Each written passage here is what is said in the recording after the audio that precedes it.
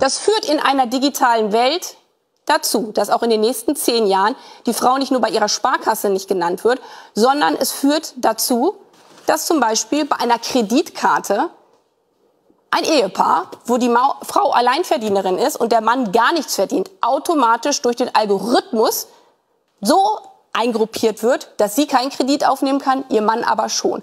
Weil nämlich dieses Bild im Kopf ist, bei der Sparkasse oder bei einem Algorithmus der Zukunft, dass der Mann der Alleinverdiener ist. Deswegen all diese Fragen sind tiefgehende Fragen, die sich in Gesetzen widerspiegeln müssen. Und wer dazu nicht bereit ist, das zu verändern, der kann nicht 80 Millionen Menschen repräsentieren. Ja,